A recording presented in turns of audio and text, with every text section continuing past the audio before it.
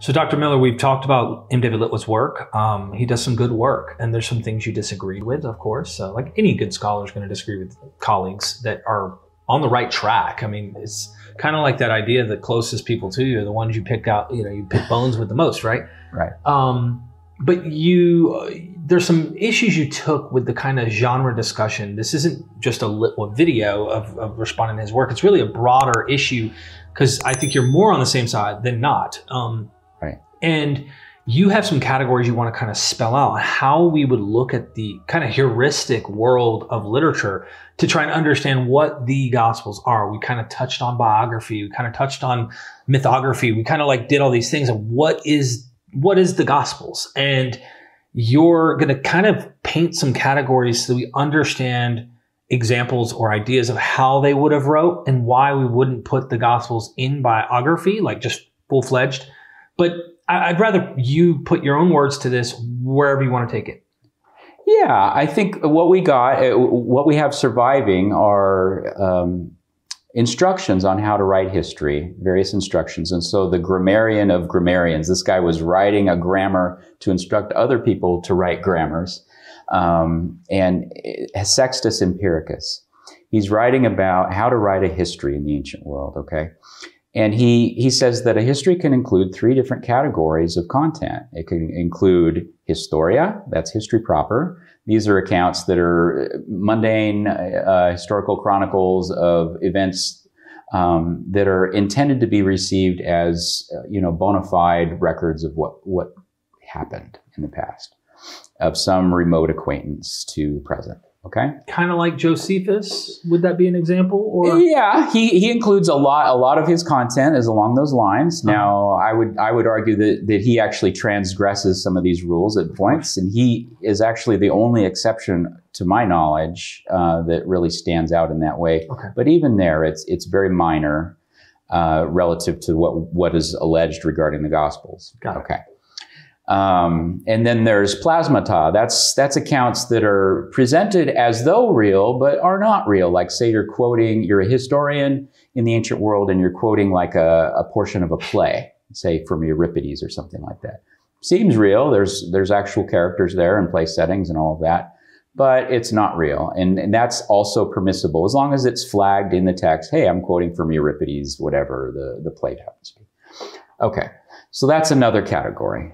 And then the third category is muthoi. And so that also is permissible in a history as long as those modal signals are present. And so a, a, a myth, a muthos, is a story that is, is uh, presented as clearly a violation of the natural order. It's something, it's a tall tale that goes beyond what could, it, it stretches credulity. Okay. And, and there's no real work given to um, try and rein that in or to try and make it a paradox like we talked about before that it needs to be a scientific a scientific discrepancy or something in the natural order needs to be a, a puzzle to be solved. No a myth is to be received as myth and and uh, and not as something else. Okay. And just getting into the detail there for our audience who's with me on this journey when you say there's signals, what do you mean by they should give signals in order for us to know? Because you're talking about histories can include, but this is that's that confusing part about the gospels and i don't want to ramble but it's like i've never seen the gospels go and by the way pss, pss, pss, this is not you know they're not giving any evidence that you need to be cautious about this this thing or that thing. They're just writing stuff that you're supposed to just take in. Right. No the gospels uh, provide none of the hallmarks of histor- historiography. That would be a well disclosed authorial persona expressing reason and caution over competing accounts we would expect that's that's what you expect to see in, in standard history works in classical antiquity. We see none of that work going on in the New Testament at they all. Would have, they would say Luke, right? Oh, there's there's other accounts, right? They would say that, uh, and you would contest that even being originally there. But even if we granted it, that is that part you're like 11 verses in you have angel slang like what is going on what is your honest opinion this is your opinion do you think he's they're trying to hoodwink uh, the the reader at that point on Luke, or what what is its intent in your opinion? It's a cultic text. It's meant to be uh, fanciful. It's meant to. It's not tethered to reality in the way that you would think of a mundane archival history. Okay. Okay, it's meant to indulge you in this world of marvels, page by page, without apology. And, and that's its consumers, the, the, the original readers of the Gospels would have entered that willfully, wanting to indulge in that world, wanting to enter that space, and wanting to um, really feel what it's like and be immersed in that kind of a world of marvels and you know the mirabilia and these kinds of uh, of accounts would have been what they were interested in. And it's also a didactic text, so this is a cultic cult performant text meant to inculcate, you know, acolytes, people, converts, this kind of thing. Um, may have been cult promotional in that sense, in, in terms of evangelizing uh, with with with people that may be interested in, in joining. But they would have known, okay, this is a cultic group, and would have had a certain category for this you wouldn't have found this kind of text in the normal archival context of ancient history works. It just Okay. wouldn't have circulated in those contexts. Sorry, I took you off the path, but Yeah. I wanted to emphasize for the viewer who's going, but Luke, but John 21 says, I have witnessed these things, and if the world could contain the things. anyway, that sounds a little exaggerated by itself, but anyway. yeah. Well, you know, anything goes in a text, you know, you and in a Cecil B. DeMille film or a CGI or a campfire tale or anything like that. And so, uh, yeah, there is an effort to give it kind of a verisimilitude, but it stretches credulity on every page and makes no apology for it doesn't doesn't go any it goes no distance toward authenticating any of these accounts or uh, provided, providing any kind of reasoned skepticism or even showcasing them for for such kind of thought or a critical investigation and so that's not what that that's not how these texts were used at that time and so, And so yeah. you're suggesting, and I, I'm sorry we're doing like a 101 basics for dummies for me, and, and I am Yeah. the example here, but you're suggesting other historiographies and the practice would be doing those things. They would say who they are, what they're doing. They're cautious in their approach, especially when it sounds what we would call fantastic. Like they would, a good actual history would be saying this. Yeah. Now, now there's people like Lucian that complain that this historian or that historian might have let something crept in without, and that was considered a foul. That wasn't considered normalcy. That was considered inappropriate and to be rejected as quality history. Wow. And so now Litwa might say, or someone like him, I, I can't put words in his mouth, that these weren't quality histories. These were history like. Okay, you know, I, I can't go there quite because I don't think that that's how these texts were processed or handled by early Christians. That's just not what was going on with them. Okay, so you do get that little bit of that little bit of text at the beginning of Luke, and everyone hangs their entire faith hat on top of on that one little. And in my view, now you kind of wonder with these guys if they've, uh, and not speaking of Litwa, but the more zealot, you know, fringe in, in the in the uh, in the discourse, have they gone and actually read the intros to the classic history works? You know, Dionysius of Halicarnassus, have they read his Roman history? You know, have they read Herodotus? Have they read, you know, each one of these has a little proem at the beginning where they try to spell out, and it's, it's, it's a place where you would have the author clearly disclosed typically. You would have their strategy in terms of what they're endeavoring to do. Um, you would have a, a fairly lengthy, you know, description of their pedigree or quality for doing such a work. It'd be a well disclosed kind of project right up front from the get go, and usually is, um, you know, very modest in terms of trying to present. Okay, this is a human process project that's aimed at, you know, historical truth. Okay, now getting now those are usually chapter a chapter or two long. We're talking very long you know in comparison to luke's little two or three sentences. And we don't find the two or three sentence intros in in ancient history works. And beyond that what's puzzling is that this is later in the gospel tradition. So he tags that on at the beginning. Well how it's farcical to think that that should be a descriptor for the entire gospel tradition any more than if you go to John's gospel, where he's presenting it in a Platonic form. He's talking about the Logos who does this and that. Should we then, therefore, and, and by the way, that philosophical idea does not carry through the rest of John. You don't find that unpacked further a whole lot at all, really. And so, should we then take all of the gospel tradition and shoehorn it into philosophy and see, see these as philosophical tractates? Right. You know, that's farcical. We would we would not accept that, nor should we accept this kind of obsession with trying to, um, you know, literalize the Gospels in this kind of radical way that seems to be a trend nowadays. Oh, So many good things. So many good Yeah. things. So we were diving in. I, I derailed you from how histories could employ myth or uh, could employ certain things, but they gave signals. And then I took you off into La La Land. So do you know where we're at? yeah, yeah, yeah. So that's a that's an interesting study all in its own right, and I enjoyed writing this review. It was to me almost a heuristic exercise. I hope Litwa is not too upset with me, but my idea there was to take and say, let's look at let's look at this a little closer.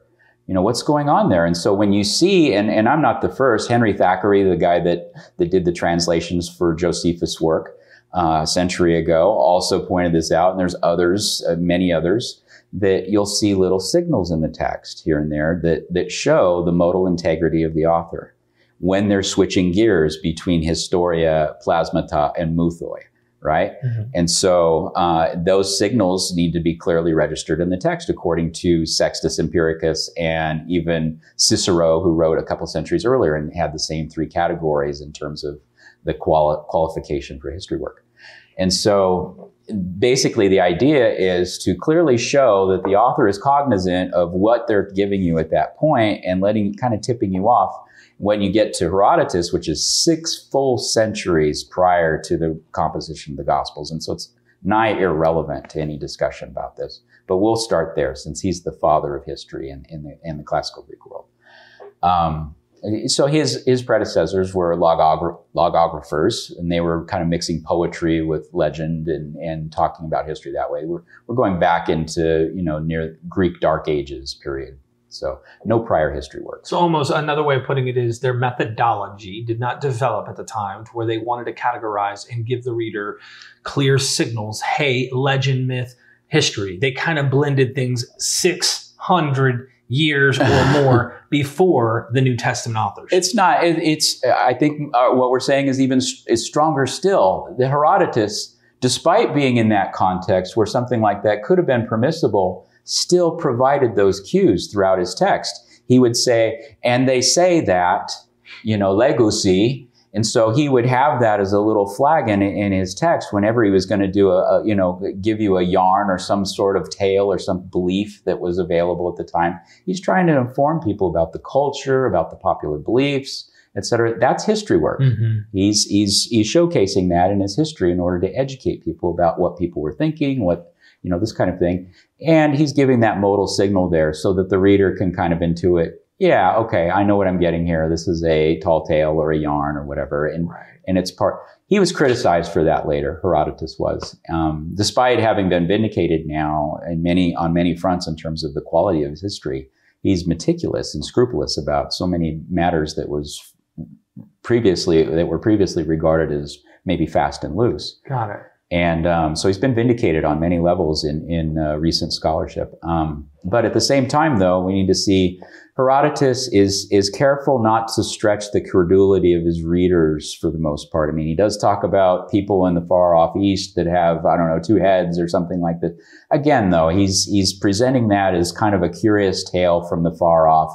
He's not trying to give that to you as like, hey, you got to believe this um, as, as literal reality, more just these are the tales that are coming from the east. And he even admits that in one of his one of his passages. Let me see if I could find it here. Um, he says, it, this is from uh, book one. Um, he says, and these are the stories of the Persians and the Phoenicians. For my part, I shall not say that this or that story is true, but I shall identify the one who I myself know did the Greeks injustice and uh, injustice, excuse me, and thus proceed with my history. And so he's even putting up front, hey, not everything I'm going to tell you right now is the absolute fact, but I do want to at least paint the picture from a cultural standpoint. What what we're getting from them? What are, they say that they say that, and so Mm. he he peppers his his work with that. We find that same uh, policy in Josephus in many places. We find it all across the Herodota- uh, Herodotean histories, all the way down. Now, Thucydides, who had a more mundane approach to history, excluded a lot of this. He didn't like to include all of the myth and all of that in there. Now he does occasionally, but he's far far more tame in that. He's less interested in that, more wanting the dry, mundane, just the facts. Right. You know, he doesn't want to include all of these cultural details and peculiarities, and so. Um, and there's a whole lineage of historians that follow in his tradition as well. So those are the two primary kind of archetypes in the historiographical tradition coming down. And almost all histories find their way under one or the other of those two um, towering figures. So, so technically, that would cause you, with all your research, to kind of force uh, one of two options, technically. And uh, the option is this is some exception, which we would need really good reasons to overcome that and suggest this these gospels are the exception. And and and I want to defend you for a moment while I'm saying that. Okay. If they are the exception, what's up with all the other gospels? Are they also pawning off wannabe histories? Are we supposed to believe those are as well? I mean, what makes you draw the line in the sand suggesting these four are somehow pawned off wannabe histories, but the plethora of acts and gospels that are out there aren't. And like it's unanimous, even the most conservative Christian will go, yeah, that, that's fake. That's not real history. I mean, right. maybe they're not using good methodology to draw that kind of conclusion, but even they're at least on the side of going, I don't accept it because it's not my canon. Um, you need more evidence to overwhelmingly kind of say this is an exception and a radically different thing versus fitting into a category of saying, here's what we know history looks like, even if it had sprinkled in, they give you cues, they give you signs.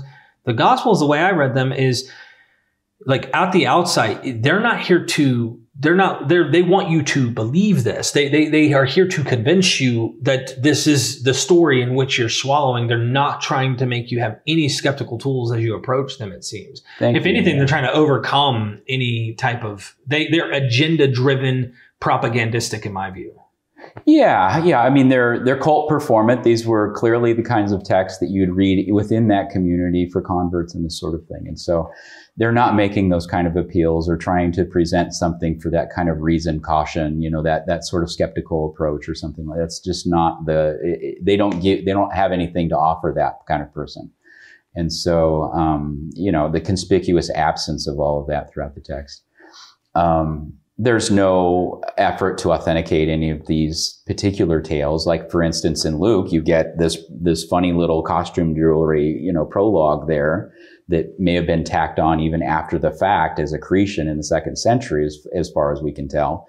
Uh, and then 11, verse 11, you've got angels flying around with without the slightest, you know, concern over the implausibility of that or any kind of skeptical reader problems or anything like that. There's no there's no particular eyewitnesses that are brought to bear on it. There's no competing accounts. There's no concern over the implausibility of any of that. And the and the the the narrative just keeps going full speed, you know, right into even more. And so, um, you know, for us to try and project across the entire text this idea that these are impeccable, it's it's there's no historian in the ancient world that would find that a compelling you know, argument at the beginning that, Mm-hmm. oh, by the way, all of my sources are impeccable, you know, now let's get started, you know, Yeah. that would And be, that, angels flying. It's yeah, like- no historian would find that compelling. That would, it would, you know, it would make its way into the waste can if they were trying to read it that way. And so, So, you yeah. brought up Eusebius as, a, as a, the first real church historian who said, All right, we haven't had anyone before try to write a history.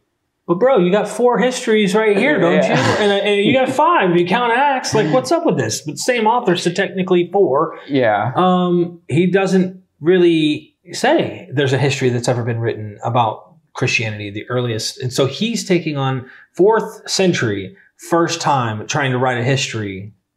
Yeah, and admitting that he's he's got a dubious project because he has no reliable sources. That's a big deal. He even prayed. you, you sent me this just for the audience. I'll try to put it up on the screen if I can. You sent it, and he almost prays. Like he's like, well, he does. He says in the text, like, may God, almost like like may God be with us. It's almost like that those movies when like you, the, the Russians are coming in, it's Red Dawn, and you know we're like doomed, and he's like, Right. may God be with us. Like, Like, he, That's he knows he's screwed. Yeah. yeah, he's And like, I hope that God will guide us to help us because this doesn't look good. Right, and even after he he starts with this this prologue, which was again a proem, like what probably we should have seen in Luke, but we didn't get. You know, he's trying to do some history work here. He's got the rigor of real people doing. You know, he's got a research team there, uh, presumably helping him draw documents. He was trying to pull from the entire inventory of known Christian writing at that time in order to piece together stuff. And uh, he, admit, he admits right up front that it, this this is gonna this is an, a doubtful project that I'm endeavoring, and uh, and basically he launches into a bunch of theological stuff right after that that again is untethered to history. It's just him theologizing, but then he tries to start piecing together, uh, you know, early church figures, saints, so forth, and and uh, you know a little bit in the gospel. But he's got a very similar project to what modern New Testament scholars have in terms of um, well, his description is that he says he felt like that his his uh, his project felt like they were plucking a, flower from here and a little uh, leaf from there and and this sort of thing in order to piece together what he calls a historical graph a historiographical body you know a, uh, you know something that a whole piece that can come together and say something. Mm. and uh, he's and, and he's complaining that that was necessary that, that he had to try and find just some little trace of something that was worth you know possibly giving any information uh, about that. He said he could not find even the bare footprints of any predecessor. Um, now that's a, that's a pretty damning statement if you're trying to say that the, the New Testament Gospels were histor- historiography you would expect then that tradition to carry forward pr- rather strongly with those primitive cherished, cherished works. You would expect a pageant, a parade of more history works Right. following in that legacy.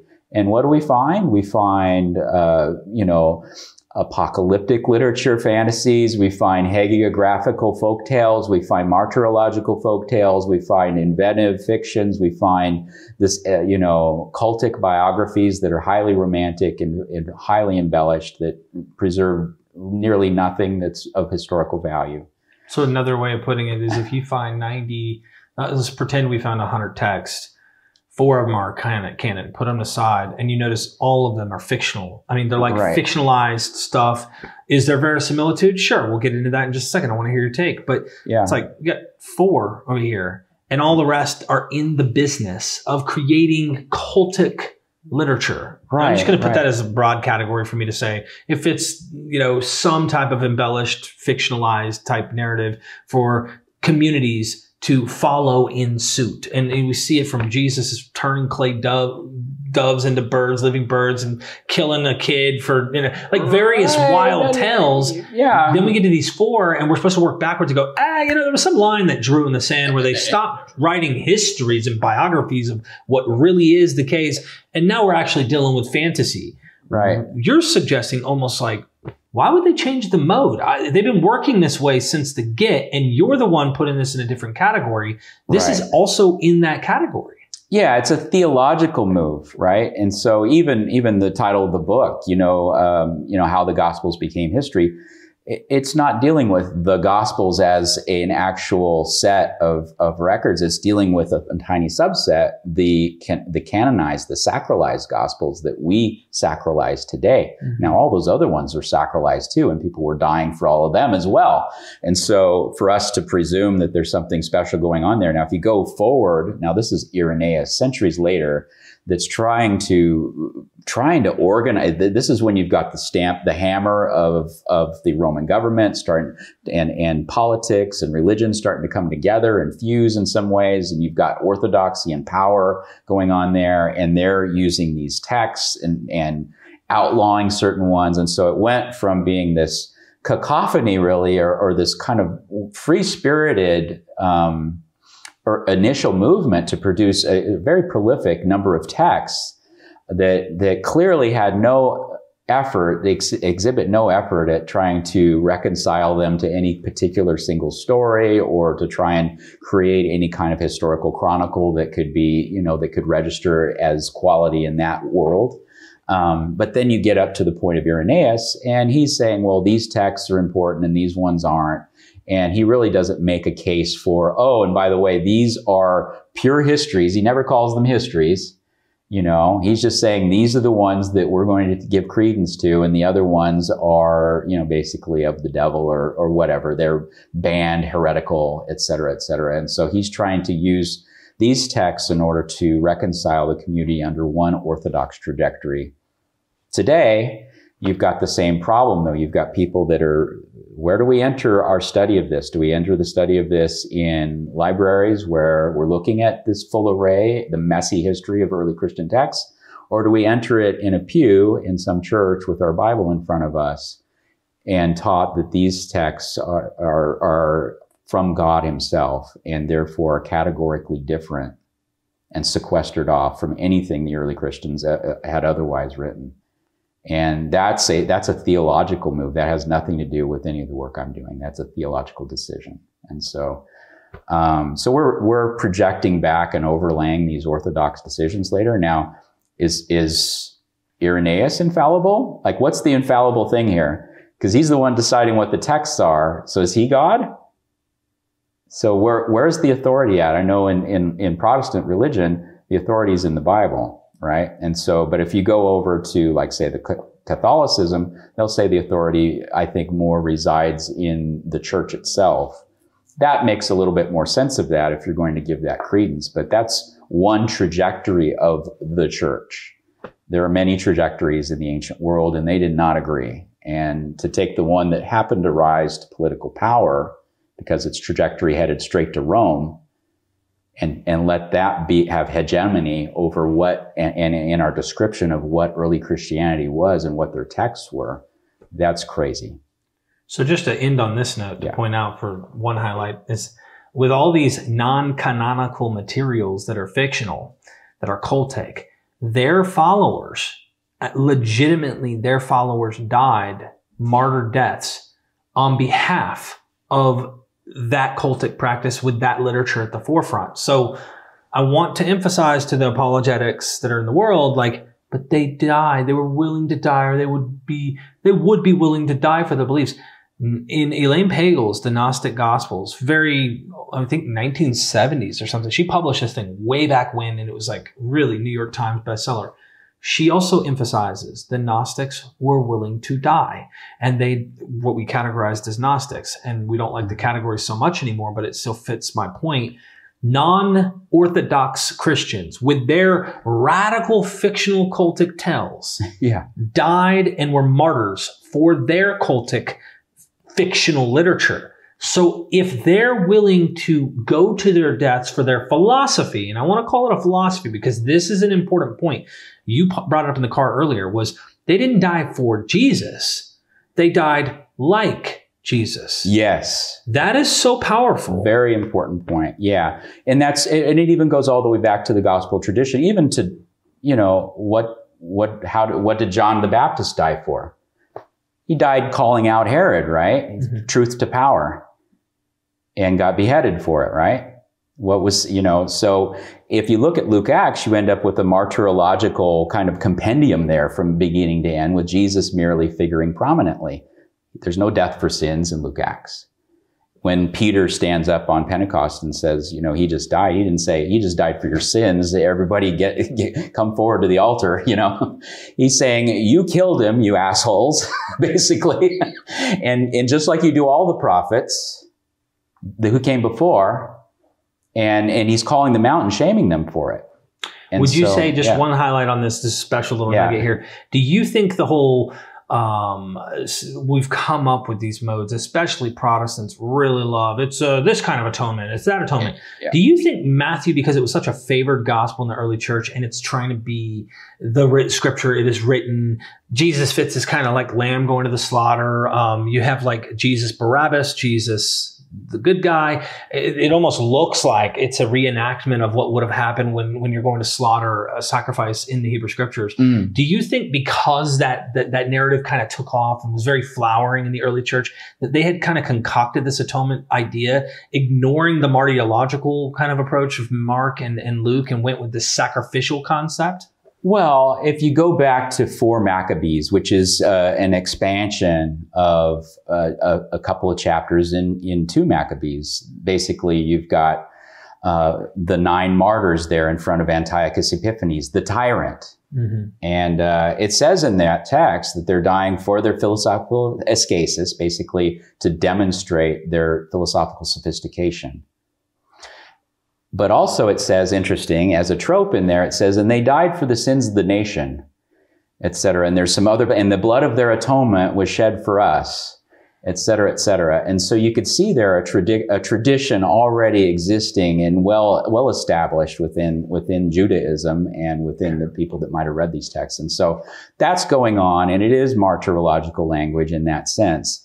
And also you got to see if you see Matthew as post 70, post temple demolition, post temple cult, then Christianity starts to become an answer to that problem in some ways. We can't sacrifice animals anymore, et cetera, et cetera. And it really ends up doing that throughout the empire as Christianity took place, it took its hold in, in the in the other cities throughout the empire.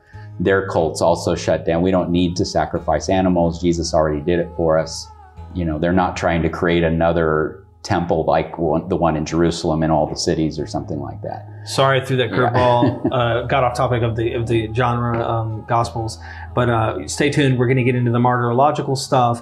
We're going to get into verisimilitude next, I hope. And uh, thank you for being a patron. I hope you liked my dad, Richard Miller, in this interview.